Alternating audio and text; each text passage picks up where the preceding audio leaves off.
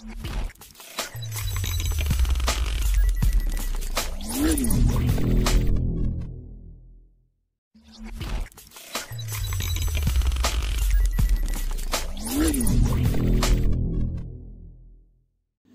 Every one welcome to സന്യൂസ് biotech academia നമ്മൾ ഇന്ന് നോക്കാൻ പോകുന്ന ടോപ്പിക് പാർത്തനോജെനസിസ് ആണ്. അപ്പോൾ നമുക്ക് നോക്കാം പാർത്തനോജെനസിസ് എന്ന് പറഞ്ഞാൽ എന്താണെന്നുള്ളത്. പാർത്തനോജെനസിസ് എന്ന് പറയുന്ന ഒരു ടേം ഡിറൈവ് ചെയ്ത് വന്നിരിക്കുന്നത് ഗ്രീക്ക് വേർഡ് ആയിട്ടുള്ള പാർത്തനോസ് ജെനസിസ് അതിൽ നിന്നാണ്. അപ്പോൾ പാർത്തനോസ് എന്ന് പറഞ്ഞിട്ടുണ്ടെങ്കിൽ വിർജിൻ എന്നാണ് മീനിങ് അതുപോലെ ജെനസിസ് എന്ന് പറഞ്ഞിട്ടുണ്ടെങ്കിൽ ബെർത്ത് ഓർ ഒറിജിൻ അപ്പോൾ പാർത്തനോജെനസിസിന്റെ മീനിങ് എന്ന് പറയുന്നത് വിർജിൻ ബെർത്ത് പാർത്തനോജെനസിസ് എന്ന് പറഞ്ഞിട്ടുണ്ടെങ്കിൽ അതൊരു ഒരു റീപ്രൊഡക്ഷന്റെ ഒരു സ്ട്രാറ്റജി തന്നെയാണ്. പക്ഷെ ഇവിടെ സെക്ഷൽ റീപ്രൊഡക്ഷൻ അല്ല നടക്കുന്നത്. എസെക്ഷൽ റീപ്രൊഡക്ഷൻ ആണ് നടക്കുന്നത്. അപ്പൊ അതിന്റെ ഡെഫിനിഷൻ നോക്കിയാൽ നമുക്ക് മനസ്സിലാവും. Development of a female gamete without fertilisation rare ആയിട്ടാണ് മെയിൽ ഗമീറ്റിന്റെ ഡെവലപ്മെന്റ് നടന്ന് പാർത്തനോജെൻസിസ് ഉണ്ടാവുന്നത്. മോസ്റ്റ് പ്രോബബ്ലി ഫീമെയിൽ ഗമീറ്റിന്റെ ഡെവലപ്മെന്റ് ആണ് ഉണ്ടാവുന്നത് വിതൗട്ട് ഫെർട്ടിലൈസേഷൻ ഇവിടെ ഫെർട്ടിലൈസേഷൻ എന്ന് പറയുന്ന ഒരു പ്രോസസ്സ് നടക്കണില്ല. അതുപോലെ തന്നെ പാർത്തനോജെൻസിസ് വഴി ഡെവലപ്പ് ചെയ്യുന്ന ഓർഗാനിസത്തിനെ പാർത്തനോട്ട് എന്നാണ് പറയുന്നത്. ഇനി ഈ പാർത്തനോജെൻസിസ് എന്ന് പറയുന്ന ഒരു പ്രോസസ്സ് നാച്ചുറലി ലോവർ പ്ലാന്റ്സിൽ ഇൻവെർട്ടിബ്രേറ്റ്സിലൊക്കെ നടക്കുന്ന ഒരു കാര്യം തന്നെയാണ്. അപ്പോൾ ഇൻവെർട്ടിബ്രേറ്റ്സിന്റെ ഒക്കെ കാര്യം പറയുകയാണെങ്കിൽ ബീസ് വാസ് പെഫൈഡ്സ് beetles rotifers lower crustaceans and decide lizards ഇവരിലെല്ലാവരിലും തന്നെ നോർമലി ആയിട്ട് നാച്ചുറലി നടക്കുന്ന ഒരു ഫിനോമിനനാണ് പാർത്തനോജെനസിസ്. ഓക്കെ. ഇനി നമുക്ക് ഈ ഒരു പാത്തനോജനസിസിനെ വേണമെങ്കിൽ ആർട്ടിഫിഷ്യലി ഇൻഡ്യൂസ് ചെയ്തിട്ടും ചെയ്യാൻ പറ്റും. അങ്ങനെ ആർട്ടിഫിഷ്യലി ഇൻഡ്യൂസ് ചെയ്തിട്ട് പാത്തനോജനസിസ് ചെയ്യേണ്ടത് echinoderms molluscs annelids amphibians and mammals ഇവരിലൊക്കെയാണ് artificially induce ചെയ്തിട്ട് പാർത്തനോജനസിസ് ചെയ്യാറ്. നമ്മൾ ഹ്യൂമൻസിന്റെ കേസ് പറയുകയാണെങ്കിൽ ഇവിടെ പാർത്തനോജനസിസ് എന്ന് പറയുന്ന ഒരു പ്രോസസ്സ് ചെയ്തിട്ടുണ്ടെങ്കിൽ വയബിൾ ആയിട്ടുള്ള എംബ്രിയോസ് പ്രൊഡ്യൂസ് ചെയ്യില്ല. അതിന് കാരണം എന്താണെന്ന് വെച്ചിട്ടുണ്ടെങ്കിൽ നമുക്കറിയാം നോർമൽ സെക്ഷൽ റീപ്രൊഡക്ഷൻ നടക്കുമ്പോൾ ഫെർട്ടിലൈസേഷൻ നടക്കുമ്പോൾ എഗ്ഗിൽ നിന്നും സ്പേമിൽ നിന്നുള്ള കണ്ടൻസ് ഫ്യൂസ് ചെയ്തിട്ടാണ് ജൈഗോട്ട് ഫോം ചെയ്യണേന്നുള്ളത് അപ്പോൾ ഇവിടെ അൺഫെർട്ടിലൈസ്ഡ് ആയിട്ടുള്ള എഗ്ഗിൽ നിന്ന് എഗ്ഗാണ് പാത്തനോജനസിസിൽ ഇൻവോൾവ് ആവുന്നത്. അപ്പോൾ അങ്ങനെ വരുമ്പോൾ സ്പേമിൽ നിന്നുള്ള ജീൻ എക്സ്പ്രഷൻ നടക്കില്ല. ഓൺലി എഗ്ഗിൽ നിന്നുള്ള എക്സ്പ്രഷൻ മാത്രമേ നടക്കുള്ളൂ. അതുകൊണ്ടാണ് ഹ്യൂമൻസിന്റെ കേസിൽ പാർത്തനോജെനസിസ് കഴിഞ്ഞിട്ടുണ്ടെങ്കിൽ വയബിൾ എംബ്രിയോസ് ഫോം ചെയ്യാത്തത്. ഇനി നമുക്ക് ഈ ഒരു നാച്ചുറൽ പാത്തനോജനസിസിനെ രണ്ടായിട്ട് ക്ലാസിഫൈ ചെയ്യാനായിട്ട് പറ്റും. ഒന്നാണ് ഒബ്ലിഗേറ്റ് അല്ലെങ്കിൽ കംപ്ലീറ്റ് പാത്തനോജനസിസ് അടുത്തതാണ് ഫാക്കൽറ്റേറ്റീവ് ഓർ ഇൻകംപ്ലീറ്റ് പാത്തനോജനസിസ് എന്നുള്ളത്. അപ്പോൾ ഒബ്ലിഗേറ്റ് ഓർ കംപ്ലീറ്റ് പാത്തനോജനസിസ് എന്ന് പറഞ്ഞിട്ടുണ്ടെങ്കിൽ these type of organisms completely depends on parthenogenesis ഇവർ സെക്ഷൽ റീപ്രൊഡക്ഷനെ ഡിപ്പെൻഡ് ചെയ്യുന്നേ ഇല്ല ഫുള്ളി എന്താ സെക്ഷൽ റീപ്രൊഡക്ഷൻ ആയിട്ടുള്ള പാത്തനോജനസിസ് ആണ് ഈ ടൈപ്പ് ഓഫ് ഓർഗാനിസത്തിൽ നടക്കുന്നത്. അപ്പോൾ ഈ ഒരു റിയാക്ഷൻ ഇവരിൽ നടക്കുന്നത് ഒന്നുകിൽ മിയോസിസ് പ്രോസസ്സ് ഇവരിൽ ഉണ്ടാവില്ല അല്ലെങ്കിൽ കോമ്പൻസേറ്ററി റെസ്റ്റിറ്റ്യൂഷൻ പ്രോസസ്സ് ആയിരിക്കും നടന്നിട്ടുണ്ടാവുക. അപ്പോൾ ഇതൊക്കെ എന്താണെന്നുള്ളത് നമ്മൾ വഴിയെ നോക്കട്ടോ ഇനി ഈ ഒരു കംപ്ലീറ്റ് പാത്തനോജൻസിസ് ചെയ്യുന്ന ഓർഗാനിസത്തിന് എക്സാമ്പിൾസ് എന്ന് പറയുന്നത് ക്ലാഡോസിറൻസ് ആൻഡ് സം റോട്ടിഫേഴ്സ് ആണ്. ഓൾമോസ്റ്റ് എല്ലാ റോട്ടിഫേഴ്സും ഫാക്കൽറ്റേറ്റീവ് പാത്തനോജനസിസ് ആണ് ചെയ്യുന്നത്. ചില റോട്ടിഫേഴ്സ് മാത്രമാണ് ഒബ്ലിഗേറ്റ് അല്ലെങ്കിൽ കംപ്ലീറ്റ് പാത്തനോജനസിസിൽ ഇൻവോൾവ് ആയിട്ടുള്ളത്. ഇനി ഈ ഒരു കംപ്ലീറ്റ് പാത്തനോജെനസിസിൽ ഇൻവോൾവ് ആയിട്ടുള്ള ഓർഗാനിസംസ് എക്സിബിറ്റ് ചെയ്യുന്നത് എന്താണെന്ന് വെച്ചാൽ അവരെല്ലാവരും തന്നെ ഫീമെയിൽസ് ആയിരിക്കും. അതിൽ ആരും തന്നെ മെയിൽസ് ഉണ്ടാവില്ല. പക്ഷേ നമ്മൾ ഇനി പറയാൻ പോണ ഇൻകംപ്ലീറ്റ് അല്ലെങ്കിൽ ഫാക്കൽറ്റേറ്റീവിലാണെങ്കിൽ അതിൽ മെയിൽസും ഉണ്ട് ഫീമെയിൽസും ഉണ്ട്. ഒബ്ലിഗേറ്റ് ആണെങ്കിൽ അവർ കംപ്ലീറ്റ്ലി ഡിപ്പെൻഡ്സ് ഓൺ പാത്തനോജെൻസിസ് ആണ്. അതുകൊണ്ട് തന്നെ അവരെല്ലാവരും തന്നെ ഫീമെയിൽസ് ആയിരിക്കും. അടുത്തതാണ് facultative or incomplete or cyclic parthenogenesis ഇവിടെ എന്താ നടക്കണേന്ന് വെച്ചിട്ടുണ്ടെങ്കിൽ പാർത്തനോജെനിസിസും ഫെർട്ടിലൈസേഷനും അതായത് സെക്ഷൽ റീപ്രൊഡക്ഷന്റെ അസെക്ഷൽ റീപ്രൊഡക്ഷന് സ്വിച്ചിങ് ആണ് നടക്കുന്നത്. രണ്ട് കാര്യം ഓൾട്ടർനേറ്റീവ്ലി നടക്കുന്നുണ്ട്. പാർത്തനോജെനിസിസും നടക്കുന്നുണ്ട്. ഫെർട്ടിലൈസേഷൻ ആയിട്ടുള്ള സെക്ഷൽ റീപ്രൊഡക്ഷനും നടക്കുന്നുണ്ട്. അത് എൻവയോൺമെന്റ് കണ്ടീഷൻസിനനുസരിച്ചാണ് പാത്തനോജെൻസിസ് നടക്കണോ അല്ലെങ്കിൽ സെക്ഷൽ റീപ്രൊഡക്ഷൻ ആയിട്ടുള്ള ഫെർട്ടിലൈസേഷൻ നടക്കണോ എന്നുള്ളത് തീരുമാനിക്കേണ്ടത്. ഓക്കെ അപ്പോൾ ഇവിടെ രണ്ടിന്റെയും ഒരു സ്വിച്ചിങ് ആണ് നടക്കുന്നത്. എക്സാമ്പിൾസ് ആണ് എഫേഡ്സ് വാസ് പ്രോട്ടിഫേഴ്സ് എന്ന് പറയുന്ന ആൾ. അപ്പോൾ ഇങ്ങനെയുള്ള ഒരു കേസിൽ നമുക്കറിയാം ഫെർട്ടിലൈസേഷനും നടക്കുന്നുണ്ട്. അതുപോലെ തന്നെ സെക്ഷൽ റീപ്രൊഡക്ഷൻ ആയിട്ടുള്ള പാത്തനോജെനിസിസും നടക്കുന്നുണ്ട് എന്നുള്ളത്.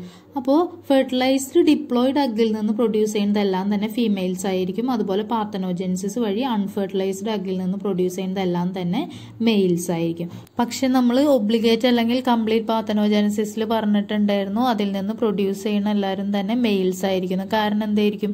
അവിടെ ഉണ്ടാവുന്നത് എന്താ അൺഫെർട്ടിലൈസ്ഡ് എഗ് ആണ്. അതുകൊണ്ടാണ് അവിടെ പ്രൊഡ്യൂസ് ചെയ്യുന്നത് മെയിൽ ആവാൻ കാരണം. അവിടെ ഫീമെയിൽ ഇല്ല. കാരണം അവിടെ ഫെർട്ടിലൈസ്ഡ് ആയിട്ടുള്ള ഡിപ്ലോയിഡ് എഗ് ഇല്ല. അവിടെ ആകെ കൂടി അൺഫെർട്ടിലൈസ്ഡ് ആയിട്ടുള്ള ഹാപ്ലോയിഡ് എഗ് ഉള്ളതുകൊണ്ട് മെയിൽസ് ഓക്കെ അപ്പൊ ഇനി നമുക്ക് പാത്തനോജൻസിസിന്റെ ടൈപ്സിനെ കുറിച്ച് പറയാം. നമ്മൾ ഓൾറെഡി പറഞ്ഞതാണ് രണ്ട് ടൈപ്പ് പാത്തനോജൻസിസ് ആണ്. മെയിൻലി ഉള്ളത് നാച്ചുറൽ പാത്തനോജൻസിസും ആർട്ടിഫിഷ്യൽ പാത്തനോജൻസിസും. അതിൽ നാച്ചുറൽ പാത്തനോജൻസിസ് പറയുകയാണെങ്കിൽ നോർമലി നേച്ചറിൽ സ്പോണ്ടേനിയസ് ആയിട്ട് ചില ലോവർ പ്ലാന്റ്സിലും അതുപോലെ തന്നെ ഇൻവേർട്ടിബ്രേറ്റ്സിലൊക്കെ കോമൺ ആയിട്ട് കാണുന്ന ഒരു പ്രോസസ്സാണ് പാത്തനോജെൻസിസ് എന്ന് പറയുന്നത്. അപ്പോൾ ഈ നാച്ചുറൽ പാത്തനോജെനസിൽ ക്രോമസോമിന്റെ നമ്പർ അനുസരിച്ച് രണ്ട് ടൈപ്പായിട്ട് വീണ്ടും ക്ലാസിഫൈ ചെയ്തിട്ടുണ്ട്. First is haploid parthenogenesis and next is the diploid parthenogenesis അടുത്തത് നമുക്ക് ഹാപ്ലോയിഡ് പാത്തനോജനസിസ് എന്താണെന്ന് നോക്കാം. ഹാപ്ലോയിഡ് പാത്തനോജനസിസ് അല്ലെങ്കിൽ അറീനോട്ടോക്കി എന്നാണ് പറയുന്നത്.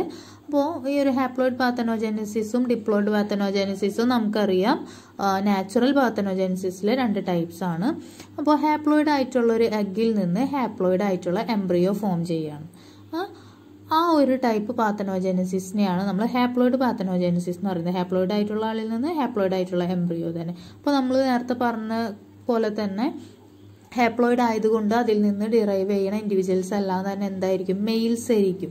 ഇനിയിപ്പോൾ അത് ഡിപ്ലോയിഡ് ആയിരുന്നെങ്കിലോ അവിടെ ഫെർട്ടിലൈസേഷൻ എന്ന് പറഞ്ഞ ഒരു പ്രോസസ്സ് നടന്നിട്ടുണ്ട്. അതുകൊണ്ട് തന്നെ എഗ്ഗും സ്പേമും ഫ്യൂഷൻ നടന്നിട്ടുണ്ട്. സോ അതിൽ നിന്ന് ഡിറൈവ് ചെയ്യണ അല്ലെങ്കിൽ ഡിപ്ലോയിഡ് ആയിട്ടുള്ള എഗ്ഗിൽ നിന്ന് ഡിറൈവ് ചെയ്യണവരെല്ലാം തന്നെ ഫീമെയിൽസ് ആയിരിക്കും. പക്ഷേ ഹാപ്ലോയിഡ് ആയിട്ടുള്ള എഗ്ഗിൽ നിന്ന് ഡിറൈവ് ചെയ്യണ എല്ലാവരും തന്നെ മെയിൽസ് ആയിരിക്കും. ഇതിനൊരു എക്സാമ്പിളാണ് ഹണി ബീസും വാസ്പും പറയുന്നത്. അപ്പോൾ ഹണി ബീയുടെ കേസ് എടുക്കുകയാണെങ്കിൽ ഹണി ബീസിൽ മെയിൽസ് എല്ലാം പ്രൊഡ്യൂസ് ചെയ്യുന്നത് പാർത്തനോജനസിസ് വഴിയും അതുപോലെ തന്നെ ഫീമെയിൽസ് എല്ലാം പ്രൊഡ്യൂസ് ചെയ്യുന്നത് ഫെർട്ടിലൈസ്ഡ് എഗിൽ നിന്നാണ്. അതായത് ഹാപ്ലോയിഡ് ആയിട്ടുള്ളതിൽ നിന്ന് മെയിൽസ് പാർത്തനോജനസിസ് വഴി ഫോം ചെയ്തു. അതുപോലെ തന്നെ നോർമൽ ഫെർട്ടിലൈസേഷൻ സെക്ഷൽ റീപ്രൊഡക്ഷൻ വഴിയാണ് ഫെർട്ടിലൈസ്ഡ് എഗ് അതായത് ഡിപ്ലോയിഡ് ആയിട്ടുള്ള എഗിൽ നിന്ന് ഫീമെയിൽസ് പ്രൊഡ്യൂസ് ചെയ്തത്. അപ്പോൾ മെയിൽസ് പ്രൊഡ്യൂസ് ചെയ്തത് ഹാപ്ലോയിഡിൽ നിന്ന് അല്ലെങ്കിൽ മെയിൽസ് എല്ലാവരും തന്നെ ഹാപ്ലോയിഡ്സ് ആണ്. ഈ ഫീമെയിൽസ് ആണെങ്കിൽ അവർ ഡിപ്ലോയിഡ് നേച്ചർ ആയിരിക്കും. ഇനിയിപ്പോൾ മെയിൽസ് ഹാപ്ലോയിഡ് ആണെങ്കിൽ പോലും അവരും ഫെർട്ടൈൽ ആയിട്ടുള്ള ആൾക്കാർ തന്നെയാണ്. സ്പെർമട്ടോജെനിസിന്റെ ആ ഒരു കേസിൽ റിഡക്ഷൻ ഡിവിഷൻ ഇവിടെ ഒമിറ്റ് ചെയ്യുകയാണ് ചെയ്യുന്നത്. അതുകൊണ്ടാണ് ഈ സ്പേംസ് എല്ലാം തന്നെ ഹാപ്ലോയിഡ് ആവാനുള്ള കാരണം. പക്ഷെ ഡിപ്ലോയിഡ് ഫീമെയിൽസിന്റെ കേസിൽ എങ്ങനെയാണെന്ന് വെച്ചാൽ അവിടെ നോർമൽ ഊജനിസിസ് തന്നെയാണ് നടക്കുന്നത്. സോ അവിടെ ഡിപ്ലോയിഡ് ഫീമെയിൽസ് പ്രൊഡ്യൂസ് ചെയ്യും. ഫെർട്ടിലൈസ്ഡ് ആയിട്ടുള്ള ഡിപ്ലോയിഡ് എഗ്ഗിൽ നിന്ന് ഡിപ്ലോയിഡ് ഫീമെയിൽസ് തന്നെയാണ് പ്രൊഡ്യൂസ് ചെയ്യേണ്ടത്. പക്ഷേ നേരത്തെ പറഞ്ഞ പോലെ അൺഫെർട്ടിലൈസ്ഡ് ആയിട്ടുള്ള എഗ് ആണെങ്കിൽ അവർ ഹാപ്ലോയിഡ് ആയിരിക്കും. അപ്പോൾ അതിൽ നിന്ന് ഹാപ്ലോയിഡ് ആയിട്ടുള്ള മെയിൽസ് തന്നെയായിരിക്കും പാത്തനോജെൻസിസ് വഴി ഫോം ചെയ്യുന്നത് ഈ ഒരു ഫിഗർ നോക്കിയിട്ടുണ്ടെങ്കിൽ നമുക്ക് മനസ്സിലാവും ഹാപ്ലോയിഡ് പാത്തനോജൻസിസും നോർമൽ ഫെർട്ടിലൈസേഷൻ അല്ലെങ്കിൽ സെക്ഷൽ റീപ്രൊഡക്ഷൻ എങ്ങനെയാണെന്നുള്ളത്. ഓക്കെ അപ്പോൾ സെക്ഷൽ റീപ്രൊഡക്ഷൻ നമ്മൾ പറയുകയാണെങ്കിൽ ഊജനസിസ് കഴിഞ്ഞിട്ട് ഊസൈറ്റ് ഫോം ചെയ്തു. അതുപോലെ തന്നെ സ്പെമട്ടോജനസിസ് കഴിയുമ്പോൾ സ്പെമട്ടോസൈറ്റും ഫോം ചെയ്തു. മെയിൽ ഗമീറ്റും ഫീമെയിൽ ഗമീറ്റും ഉണ്ടായി. രണ്ടുപേരും ഇപ്പോൾ ഹാപ്ലോയിറ്റ് ആണ്. ഇനി എന്താ സംഭവിക്കണമെന്ന് വെച്ചാൽ ഫെർട്ടിലൈസേഷൻ നടക്കും. ഫെർട്ടിലൈസേഷൻ നടക്കുമ്പോൾ ഇവർ രണ്ടുപേരും ഫ്യൂസ് ചെയ്തിട്ട് ഡിപ്ലോയിഡ് സൈക്കോട്ട് ഫോം ചെയ്യും. അതിൽ നിന്ന് ഉണ്ടാവുന്ന ഇൻഡിവിജ്വൽ അപ്പോൾ എന്തായിരിക്കും? ഡിപ്ലോയിഡ് തന്നെയായിരിക്കും. ഇതാണ് നോർമൽ സെക്ഷൽ റീപ്രൊഡക്ഷൻ ഇനി ഇവിടെ ഹാപ്ലോയിഡ് പാത്തനോജനസിസ് ആണെങ്കിൽ ഇവിടെ മിയോസിസ് കഴിഞ്ഞ് ഊസൈറ്റ് ഫോം ചെയ്തു ഊസൈറ്റ് ഫോം ചെയ്ത് കഴിഞ്ഞപ്പോൾ അവരെന്താ ഹാപ്ലോയിഡ് തന്നെയാണ്. ഇതിൽ വേറെ മെയിൽ ഗമീറ്റ് വന്നിട്ട് ഫ്യൂഷൻ ഒന്നും നടക്കണില്ല ഫെർട്ടിലൈസേഷൻ നടക്കണില്ല. അതുകൊണ്ട് തന്നെ അൺഫെർട്ടിലൈസ്ഡ് ആയിട്ടുള്ള എഗ് ആണ് ഇപ്പോൾ ഉള്ളത്. അപ്പോൾ അതിൽ നിന്ന് ഉണ്ടാവുന്ന ഇൻഡിവിജ്വൽസ് എല്ലാം തന്നെ ഹാപ്ലോയിഡ് ആയിട്ടുള്ള ആൾക്കാരായിരിക്കും. തൊട്ടപ്പുറത്ത് അറീനോട്ടോക്കി കാണിച്ചിട്ടുണ്ട്. അതിൽ ഞാൻ ഹാപ്ലോയിഡ് ആയിട്ടുള്ള കണ്ടീഷനും ഡിപ്ലോയിഡ് ആയിട്ടുള്ള കണ്ടീഷനും കാണിച്ചിട്ടുണ്ട്. ഹാപ്ലോയിഡ് ആയിട്ടുള്ള ഊസൈറ്റിൽ നിന്ന് ഹാപ്ലോയിഡ് ആയിട്ടുള്ള മെയിൽസ് ആണ് ഫോം ചെയ്യുന്നത്. അതുപോലെ ഹാപ്ലോയിഡ് ആയിട്ടുള്ള ഊസൈഡിലോട്ട് സ്പേമും കൂടി ഫ്യൂസ് ചെയ്യുമ്പോൾ ഡിപ്ലോയിഡ് ആയിട്ടുള്ള ഫീമെയിൽസ് പ്രൊഡ്യൂസ് ചെയ്തു. ഓക്കെ അപ്പോൾ ഇനി അടുത്ത് നമുക്ക് ഡിപ്ലോയിഡ് പാത്തനോജനസിസ് അല്ലെങ്കിൽ തീലട്ടോക്കി എന്താന്നുള്ളത് നോക്കാം. അപ്പോൾ ഇവിടുത്തെ ഓ എന്ന് പറയുന്നത് ഡിപ്ലോയിഡ് കണ്ടീഷനിലുള്ള ഓ ആണ്. അപ്പോൾ ഇവിടുത്തെ ഒരു കണ്ടീഷൻ എന്ന് പറഞ്ഞാൽ ഡിപ്ലോയിഡ് ആയിട്ടുള്ള ഒരു അഗിന്ന് ഡിപ്ലോയിഡ് ആയിട്ടുള്ള എംബ്രിയോ ഫോം ചെയ്യുന്നു. ഈ ഒരു റിയാക്ഷൻ നടക്കുന്നത് ഒന്നുകിൽ റിഡക്ഷൻ ഡിവിഷൻ ഒമിറ്റ് ചെയ്തിട്ടായിരിക്കും. അല്ലെങ്കിൽ നമുക്കറിയാം ഊജനസിസ് കഴിയുമ്പോൾ പ്രൊഡ്യൂസ് ചെയ്യുന്ന സെക്കൻഡറി യൂസൈറ്റിൽ നിന്ന് ഫോം ചെയ്യുന്ന പോളാർ ബോഡി ഉണ്ട്. ആ പോളാർ ബോഡിയും ഹാപ്ലോയിഡ് ആയിട്ടുള്ള എഗ്ഗും തമ്മിൽ ഫ്യൂസ് ചെയ്യും. ഫ്യൂസ് ചെയ്തിട്ട് ഡിപ്ലോയിഡ് ആവാം. അങ്ങനെയാണ് ഇവിടുത്തെ ഒരു മെക്കാനിസം നടക്കുന്നത്. പക്ഷേ നമ്മൾ ഇത് ഫെർട്ടിലൈസേഷൻ ആണെന്ന് വിചാരിക്കരുത്. കാരണം ഇവിടെ ഡിപ്ലോയിഡ് ആവുന്നത് ഫെർട്ടിലൈസേഷൻ നടന്നിട്ടല്ല. സ്പേമും എഗ്ഗും കൂടി ഫ്യൂസ് ചെയ്തിട്ടല്ല ഇവിടെ ഒരു ഡിപ്ലോയിഡ് ആയിട്ടുള്ള എഗ്ഗ് ഫോം ചെയ്യുന്നത് അല്ലെങ്കിൽ എംബ്രിയോ ഫോം ചെയ്യുന്നത് ഇവിടെ ഡിപ്ലോയിഡ് ആയിട്ടുള്ള എംബ്രിയോ ഫോം ചെയ്യുന്നത് ഈ പറഞ്ഞ മെക്കാനിസം കൊണ്ടാണ്. ഒന്നുകിൽ റിഡക്ഷൻ ഡിവിഷൻ ഒമിറ്റ് ചെയ്യാം അല്ലെങ്കിൽ പോളാർ ബോഡീസും ഹാപ്ലോയിഡ് എഗും തമ്മിൽ ഫ്യൂസ് ചെയ്യാം. ഇനി ഈ ഒരു ഡിപ്ലോയിഡ് പാത്തനോജനസിസിനെ വീണ്ടും classify ചെയ്തേക്കാണ് ameiotic thelytoky and meiotic thelytoky അടുത്തത് നമുക്ക് ആമിയോട്ടിക് തീലട്ടോക്കി എന്താന്നുള്ളത് നോക്കാം. ആമിയോട്ടിക് തീലട്ടോക്കി എന്ന് പറഞ്ഞിട്ടുണ്ടെങ്കിൽ ആ പേരിൽ നിന്ന് തന്നെ നമുക്കറിയാൻ പറ്റും മിയോസിസ് എന്ന് പറഞ്ഞിട്ടുള്ള സ്റ്റേജ് ഇവിടെ നടക്കണില്ല എന്നുള്ളത്. അപ്പോൾ ഇവിടെ നടക്കുന്ന റിയാക്ഷൻ എന്ന് പറയുന്നത് മൈറ്റോട്ടിക് ഡിവിഷൻ ആണ്. പക്ഷേ ആമിയോട്ടിക് എന്ന് പറയുമെങ്കിലും ഫസ്റ്റ് മിയോസിസ് ആണ് നടക്കാത്തത്. സെക്കൻഡ് മിയോട്ടിക് ഡിവിഷൻ നടക്കുന്നുണ്ട്. ഓക്കെ അപ്പോൾ അങ്ങനെ ഡിറൈവ് ചെയ്യണ എഗ് എന്ന് പറയുന്നത് ഡിപ്ലോയിഡ് ക്രോമസോം ഉള്ളതായിരിക്കും. ടു എൻ ആയിരിക്കും അവരുടെ സ്റ്റേജ് എന്ന് പറയുന്നത്. അപ്പോൾ ഇവിടെ ഫെർട്ടിലൈസേഷൻ നടക്കാതെയാണ് ഡിപ്ലോയിഡ് ആയിട്ടുള്ള എഗ് ഫോം ചെയ്യുന്നത്. ഇൻ എക്സാമ്പിൾസ് ആണ് ക്രസ്റ്റേഷ്യൻസ് ആൻഡ് ഇൻസെക്ട് ഇനി മിയോട്ടിക് തീലട്ടോക്കി എന്ന് പറഞ്ഞിട്ടുണ്ടെങ്കിൽ റിഡക്ഷൻ ഡിവിഷന്റെ സെർട്ടൺ സ്റ്റേജിൽ വെച്ചിട്ട് എന്തെങ്കിലും അനോമലീസ് അല്ലെങ്കിൽ അബ്നോർമൽ ആയിട്ട് എന്തെങ്കിലും കാര്യങ്ങൾ നടക്കുക. ആ ഒരു കണ്ടീഷൻ കാരണം ഡിപ്ലോയിഡ് ആയിട്ടുള്ള ഓവം ഫോം ചെയ്യാണ് ചെയ്യുന്നത് അപ്പോൾ അങ്ങനെയാണ് മിയോട്ടിക് തീലട്ടോക്കി ഉണ്ടാവുന്നത് അപ്പോൾ ഈ ഒരു സ്റ്റേജ് ഫോം ചെയ്യുന്നത് ഡിപ്ലോസിസ് അല്ലെങ്കിൽ ക്രോമസോം നമ്പർ ഡബിൾ ചെയ്യാന്നുള്ള ആ ഒരു അനോമലി നടന്നിട്ടായിരിക്കും. അപ്പോൾ നമുക്ക് എന്ത് കിട്ടും? ഡിപ്ലോയിഡ് ആയിട്ടുള്ള എക്സ് കിട്ടും. അതിൽ നിന്ന് ഡിറൈവ് ചെയ്യുന്ന ഇൻഡിവിജ്വൽസ് ഡിപ്ലോയിഡ് ഇൻഡിവിജ്വൽസ് തന്നെയായിരിക്കും. അപ്പോൾ ഈ ഒരു ഡിപ്ലോസിസ് അല്ലെങ്കിൽ ഡബിളിംഗ് ഓഫ് ക്രോമസോം നടന്നിട്ട് ഡിപ്ലോയിഡ് എക്സ് ഫോം ചെയ്യാനുള്ള കാരണം രണ്ട് കാരണങ്ങൾ കൊണ്ടാവാം. റെസ്റ്റിറ്റ്യൂഷൻ വഴിയും അല്ലെങ്കിൽ ഓട്ടോ ഫെർട്ടിലൈസേഷൻ വഴിയായിരിക്കാം. പിന്നെ അടുത്തത് നമുക്ക് റെസ്റ്റിറ്റ്യൂഷൻ എന്താണെന്നും ഓട്ടോ ഫെർട്ടിലൈസേഷൻ എന്താണെന്നും നോക്കാം. ഓക്കെ അടുത്ത് നമുക്ക് റെസ്റ്റിറ്റ്യൂഷൻ എന്താണെന്നുള്ളത് നോക്കാം. റെസ്റ്റിറ്റ്യൂഷൻ എന്ന് പറഞ്ഞിട്ടുണ്ടെങ്കിൽ മെച്ചുറേഷൻ ഡിവിഷന്റെ ഇടയിൽ സൈറ്റോകൈനസിസ് എന്ന് പറയുന്ന ഒരു പ്രോസസ്സ് നടക്കണില്ല. സൈറ്റോകൈനസിസ് നടന്നാൽ മാത്രമേ ആ ഒരു സെല്ല് ടു എൻ ആയിരിക്കുന്ന ഒരു സെല്ല് സെപ്പറേറ്റ് ആയിട്ട് രണ്ട് ഹാപ്ലോയിഡ് ആവുള്ളൂ. അപ്പോൾ ഈ ഒരു സൈറ്റോകൈനസിസ് നടക്കാത്തതുകൊണ്ട് തന്നെ പ്രൈമറി പോളാർ ബോഡി ഒന്നും ഫോം ചെയ്യണില്ല. ഒരു സിംഗിൾ സെല്ലിൽ തന്നെ ഡബിൾ സെറ്റ് ഓഫ് ക്രോമസോം തന്നെയാണ് ഇപ്പോഴും ഇരിക്കുന്നത്. അവർ ഡിവിഷൻ കഴിഞ്ഞ് ഹാപ്ലോയിഡ്സ് ആയിട്ടില്ല. അതുകൊണ്ട് തന്നെ അവിടെ എന്താ ഡിപ്ലോയിഡ് ആയിട്ടുള്ളൊരു സ്റ്റേജ് കിട്ടി. ഓക്കെ പക്ഷേ ഇവിടെ സെക്കൻഡ് മിയോട്ടിക് ഡിവിഷൻ നോർമലി നടക്കുന്ന പോലെ തന്നെ നടക്കും. എന്നിട്ട് അതിൽ നിന്നൊരു ലാർജ് റോവും അതുപോലെ തന്നെ സെക്കൻഡ് പോളാർ ബോഡിയും ഫോം ചെയ്യും. ഫസ്റ്റ് പോളാർ ബോഡി ഫോം ചെയ്യണം പക്ഷേ സെക്കൻഡ് പോളാർ ബോഡി ഫോം ചെയ്യും. Examples are moth and butterflies അടുത്ത് നമുക്ക് ഓട്ടോ ഫെർട്ടിലൈസേഷൻ എന്താന്ന് നോക്കാം. ഇവിടെ ഊജനസിസ് നോർമൽ മിയോസിസ് ഒക്കെ നടന്നിട്ട് തന്നെയാണ് ഊജൻസിസ് നടക്കുന്നത്. പക്ഷേ ഇവിടുത്തെ ഡിഫറൻസ് എന്താണെന്ന് വെച്ചാൽ നമുക്ക് ഈ ഒരു ഫിഗർ നോക്കിയാൽ മനസ്സിലാവാൻ പറ്റും. ഇവിടെ പോളാർ ബോഡിയും എഗ്ഗും കൂടിയിട്ട് ഫ്യൂസ് ചെയ്യാണ് ചെയ്യുന്നത്. എന്നിട്ടാണ് ഡിപ്ലോയിഡ് ആയിട്ടുള്ള എഗ്ഗ് ഫോം ചെയ്യുന്നത്. അപ്പോൾ ഈ ഒരു ഫിഗർ നോക്കാം. ഇതാണ് പ്രൈമറി യൂസൈറ്റ് അതിൽ ഫസ്റ്റ് മിയോസിസ് കഴിഞ്ഞപ്പോൾ പോളാർ ബോഡി അതുപോലെ തന്നെ സെക്കൻഡറി യൂസൈറ്റും ഫോം ചെയ്തു. ദെൻ സെക്കൻഡ് മിയോസിസ് കഴിഞ്ഞപ്പോൾ ഓവം ഫോം ചെയ്തു. പോളാർ ബോഡീസ് ഉണ്ട്. അപ്പോൾ അങ്ങനെ ഫോം ചെയ്തിട്ടുള്ള ഹാപ്ലോയിഡ് ആയിട്ടുള്ള ഈ ഓവത്തിലോട്ട് പോളാർ ബോഡി വന്ന് ഫ്യൂസ് ചെയ്തിട്ട് അവർ ഡിപ്ലോയിഡ് ആയിട്ട് മാറണം അപ്പോൾ ഇവിടെ പോളാർ ബോഡിയുടെ ന്യൂക്ലിയസും ഉണ്ട് ഹാപ്ലോയിഡ് ആയിട്ടുള്ള എഗ്ഗിന്റെ ന്യൂക്ലിയസും കൂടി ഫ്യൂസ് ചെയ്ത് ഡിപ്ലോയിഡായി മാറി. അപ്പോൾ അത്രയാണ് നാച്ചുറൽ പാത്തനോജനസിസിനെ കുറിച്ച് പറയാനുള്ള അവരുടെ ടൈപ്സ് ആയിട്ടുള്ള ഹാപ്ലോയിഡ് പാത്തനോജനസിസും ഡിപ്ലോയിഡ് പാത്തനോജനസിസും. അതിൽ തന്നെ ഡിപ്ലോയിഡ് പാത്തനോജനസിലെ ഡിഫറെന്റ് മെക്കാനിസംസ് ആയിട്ടുള്ള റെസ്റ്റിറ്റ്യൂഷനും ഓട്ടോ ഫെർട്ടിലൈസേഷനും കുറിച്ച് പറയാനുള്ളത്. നെക്സ്റ്റ് നമുക്ക് ആർട്ടിഫിഷ്യൽ പാത്തനോജനസിസിനെ കുറിച്ച് നോക്കാം. ആർട്ടിഫിഷ്യൽ പാത്തനോജനസിസ് എന്ന് പറഞ്ഞിട്ടുണ്ടെങ്കിൽ നമുക്കറിയാം നാച്ചുറലി നടക്കുന്നതല്ല. ഈ ഒരു പാത്തനോജൻസിസ് നടക്കുന്നത് നമ്മൾ ഇൻഡ്യൂസ് ചെയ്തിട്ട് ചെയ്യിപ്പിക്കുന്നതാണ് by physical means chemical means and mechanical means ഇനി അടുത്ത് നമുക്ക് മെക്കാനിക്കൽ ആർട്ടിഫിഷ്യൽ പാത്തനോജനിസിസ് എങ്ങനെയാണ് ചെയ്യണമെന്നുള്ളത് നോക്കാം. ഇപ്പോൾ നമ്മളൊരു ഫ്രോഗിന്റെ കേസ് എടുക്കുകയാണെങ്കിൽ ഫ്രോഗിന്റെ എഗ്ഗിൽ ഒരു ഫൈൻ നീഡിൽ വെച്ചിട്ട് ഒരു സ്മോൾ പ്രിക്ക് ഉണ്ടാക്കുകയാണെങ്കിൽ അതൊരു ആർട്ടിഫിഷ്യൽ പാത്തനോജനിസിസിനെ ഇൻഡ്യൂസ് ചെയ്യണം പാത്തനോജനിസിസിനുള്ള ഒരു സ്റ്റിമുലേഷനാണ് അത്.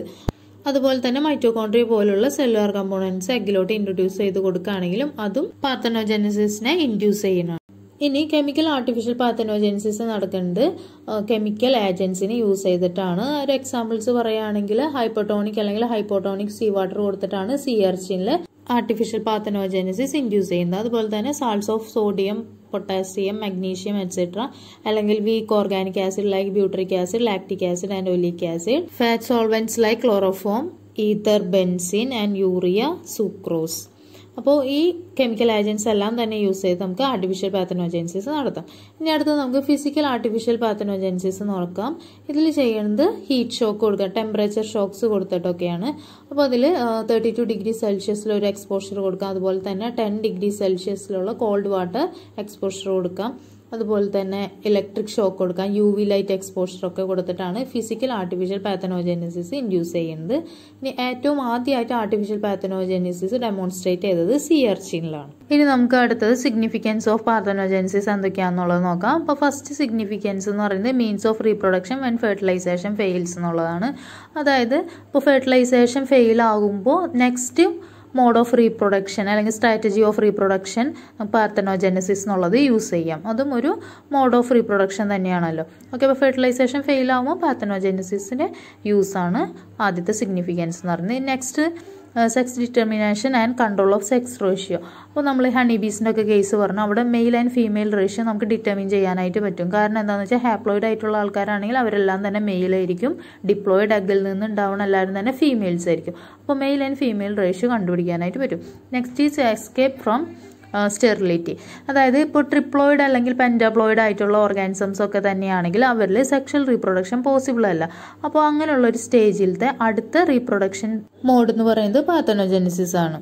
ഇനി അടുത്തത് prevention of wastage of energy ആണ്. അതായത് സെക്ഷൽ റീപ്രൊഡക്ഷൻ ആണെങ്കിൽ അവിടെ എനർജി യൂട്ടിലൈസേഷൻ കൂടുതലാണ്. അപ്പോൾ പാത്തനോജെനിസിസ് ആണെങ്കിൽ ആ ഒരു എനർജീനെ സേവ് ചെയ്യാനായിട്ട് കഴിയും. ഇനി അടുത്ത് നമുക്ക് പാത്തനോജനസിന്റെ ഡിസഡ്വാന്റേജസ് എന്തൊക്കെയാണെന്നുള്ളത് നോക്കാം.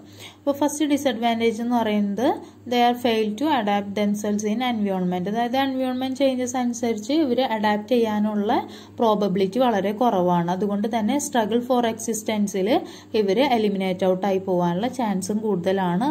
സോ അവർ സർവൈവ് ചെയ്യാനുള്ള ചാൻസ് വളരെ കുറവാണ്. ഇതിന് കാരണം റീകോമ്പിനേഷനും ജീൻ എക്സ്ചേഞ്ചും ഒന്നും ഇവരിൽ നടക്കണില്ല. അതുകൊണ്ട് തന്നെ ഇവരെ സർവൈവൽ ചാൻസ് വളരെ കുറവാണ്.